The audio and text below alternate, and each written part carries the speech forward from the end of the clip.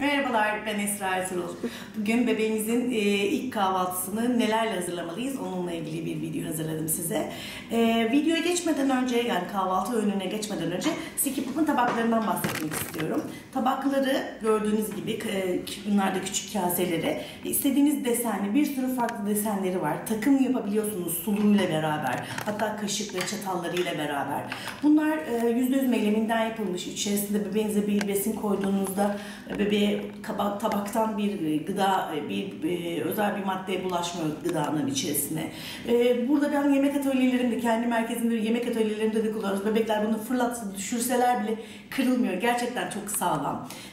Ve e, çok da sevimli oldukları için çok rahat bir şekilde bebeğinizin ilgisini de çekebilecek e, bir ürünlerdir. Sadece bebeklerin değil hatta çocukların böyle iki ay sonrasında iştahsız dönemleri başlıyor. Böyle gerçekten iştahla ilgili sorunları oluyor. O zaman sevdiği kahramanın tabağına ve kasesini aldığınızda e, o da onun ilgisini çekecektir. Bu şekilde de onu kullanabilirsiniz. Bu ürünleri o şekilde de kullanabilirsiniz. Şimdi kahvaltıya geçersek ilk kahvaltımızda tuzsuz bir beyaz peynir kullanıyoruz. Tuzsuz beyaz peynir derken normal evde kullandığınız peyniri akşamdan suda bekletip sabahleyin bir daha yıkadığınızda tamamen tuzsuz olan orta yağlı. Çok sıfır yağsız olunca biraz tadı kötü oluyor. O yüzden ben orta yağlı kullanıyoruz. Bir yumurta ama yumurtanın da e, sarısını değil sadece e, beyazını pardon beyazını değil sadece sarısını kullanıyoruz. Ben şimdi bir yandan sizle konuşurken de bunu ayırıyorum. Bebek bisküvisi kullanabiliriz. Bebek bisküvisi kullanırken e, bebekler için özel yapılmış bir bebek bisküvilerinden kullanabildiğiniz gibi e, bir dilim ekmek içi de kullanabilirsiniz. Bebek ekmeği de olabilir. E, normal bir tam buğdaylı ekmeğin e, şeyi de olabilir. Yumurta sarısını kullanıyoruz. Çünkü beyazın içerisinde çok fazla e, ağır proteinler içerdikleri için bebeğin sindirimi açısından sakıncalı. Yumurta sarısının önce ucundan bir parça başlayıp bir her geçen gün biraz biraz arttırarak bir hafta 10 günün sonunda bir yumurta sarısını yiyebilir hale gelmelidir. Bir başka bir kasemizin içine yumurta sarısının içine ekliyoruz.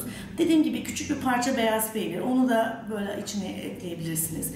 Bebek bisküvisi bir ya da iki tane koyabilirsiniz. Ben birazcık bunları içinde kırıyorum koyarken ezilmesi kolay olsun diye. Ben iki tane koyacağım. Bunun içerisine eğer e, kuru yemişlere başladıysanız ki genelde ilk kahvaltılarda değil biraz daha ilerlediğinde belki kuru yemişlerden de ceviz, badem, fındık gibi kuru yemişlerden de olabilir. Onu mutlaka rondodan geçiyoruz ama ben ilk kahvaltı olduğu için onları eklemiyorum. Ve içerisine e, ben e, bir tatlı kaşığı kadar da üzüm pekmezi ekliyorum. E, bu pekmezin de hem biraz daha doğal içerikli olmasını tavsiye ediyoruz ve üzerine de e, ılıttığınız bir anne sütü olabilir ya da hazırladığınız bir devam sütü olabilir. Ondan da birazcık bunları ıslatmak için besinleri ıslatmak için üstüne de bunu ekliyorum. Sonra da güzelce bunların hepsini çatalımla güzelce eziyorum. Bu ezdiğinizde de mutlaka bir içerisinde biraz biraz pütürüklerin olmasına dikkat ediyoruz ki bebeğimiz bunu yerken e, şey olmasın, e, rahatlıkla yiyebilsin. E, blenderın içine koyduğunuzda tamamen kıvamsız olduğunda ileriki yaşlarda e, pütürüklü gıda yemesiyle ilgili sıkıntı yaşayacaksınızdır. Genelde kahvaltıyı 7-7,5 e, genelde 7. ay gibi başlatıyoruz. 7. ayda kahvaltıya başladığında da artık bu karışımı çok güzel bir şekilde yiyebilir. Ha, sizin çocuğunuz e, böyle bir karışım değil tek tek yemek istiyorsa da ee, böyle bir kasesinin içine bisküvisi, yumurtası, peynirini ayrı ayrı koyup kendisi de yiyebilir. Sizin de rahatlıkla yedirebileceğiniz e, bir şekilde hazırlayabilirsiniz. Ama ben dediğim gibi böyle ilk e, ve biraz karışım şeklinde yiyebilen çocuklar için hazırladığım bir kahvaltı öğünü bu. İçinde kötülükleri olan güzel bir kahvaltı oldu. Kahvaltı hazırladık. Bebeğimize bunu çok güzel bir şekilde yumuşak yumuşak yiyeceğiz. Gördüğünüz gibi içinde küçük küçük taneleri olan güzel, besleyici bir kahvaltı öğünü. Siz de bebeklerinize böyle güzel kahvaltılar hazırlayabilirsiniz. Birlikte eğlenceli e, öğünleriniz şeklinde, öğünler şeklinde devam eder umarım.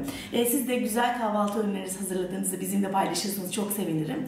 Bizi izlediğiniz için teşekkürler. Görüşmek dileğiyle.